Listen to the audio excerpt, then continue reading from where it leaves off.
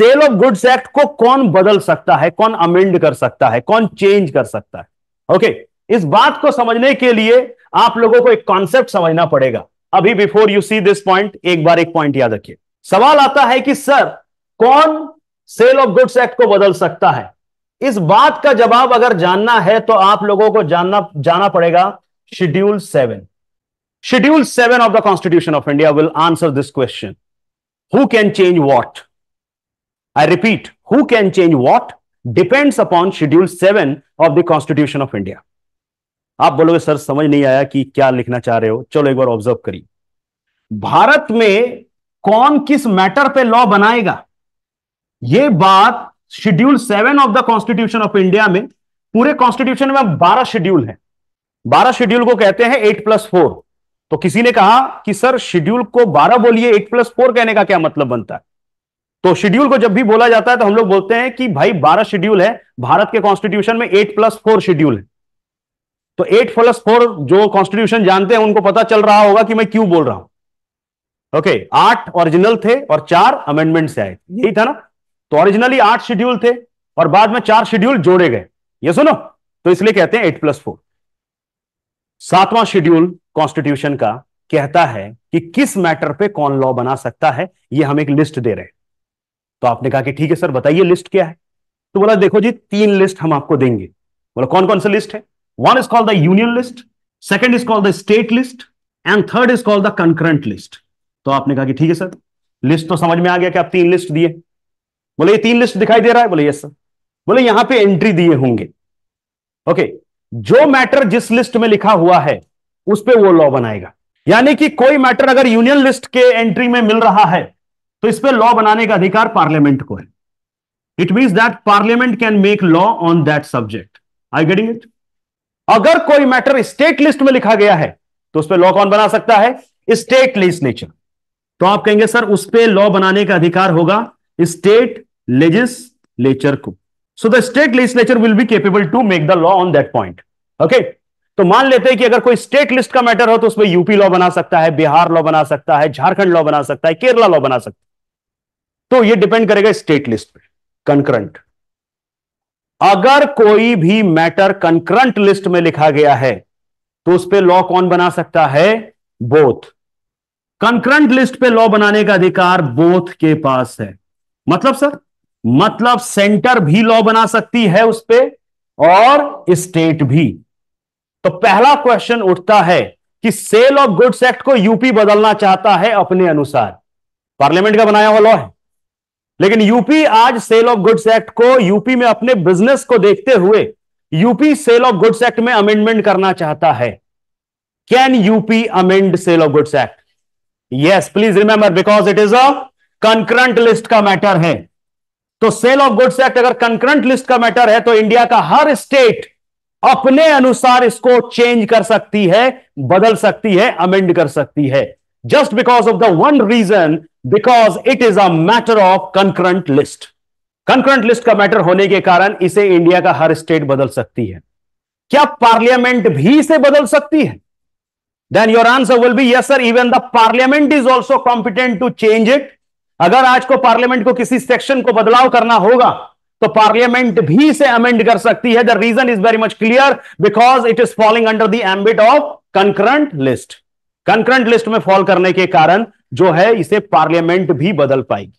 लेकिन एक बहुत इंपॉर्टेंट पॉइंट है कि जनरली तुम लोग जब सीपीसी लिमिटेशन ये सब देखते हो तो उन लोगों की एक एंट्री होती है। कोई भी कंकरंट लिस्ट में एक ही एंट्री में फॉल करोगे ना, ये क्या है? सोगा की दो एंट्री है।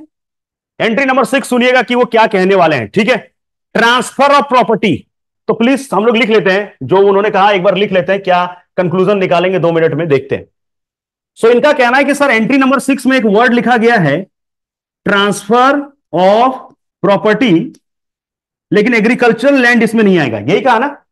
बोला सर एग्रीकल्चर लैंड नहीं entry six deals with transfer of property अब एंट्री नंबर सेवन में है कॉन्ट्रैक्ट्स ओके दो वर्ड देखिएगा। जनरली अगर सीपीसी को ढूंढना होगा ना तो एंट्री नंबर तेरह देखोगे। तो एंट्री एंट्री नंबर सीधा सीधा लिखा है सीपीसी लिमिटेशन ये सुनो। सीआरपीसी देखना होगा तो वहाँ सीआरपीसी एंट्रीज में मिलते हैं। लेकिन सोगा डायरेक्टली वर्ड कहीं नहीं लिखा गया।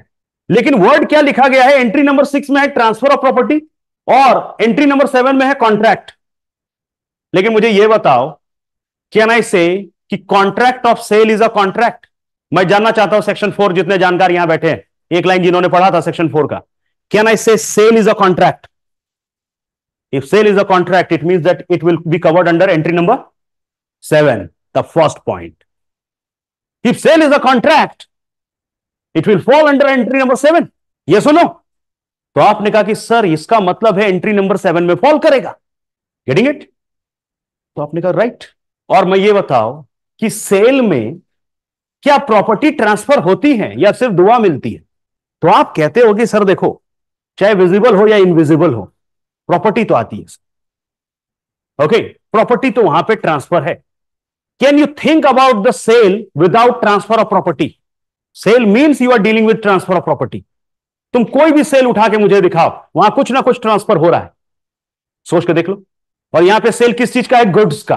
तो गुड्स का जो ओनरशिप है, जो राइट right है, वो एक पर्सन से दूसरे पर्सन में ट्रांसफ़र हो रहा है। तो can I say sale is a transfer of property also हाँ या ना, मैं इतना जानना चाहता हूँ। Then you say sir transfer is definitely yes Every sale is a transfer of property so if sale is a transfer of property Can I say sale of goods act will fall under entry 6 also? Yes or no? Then your answer is yes, sir. If it is a transfer of property, because every sale is a transfer of property, it deals with the transfer of property, no doubt movable property, no doubt goods.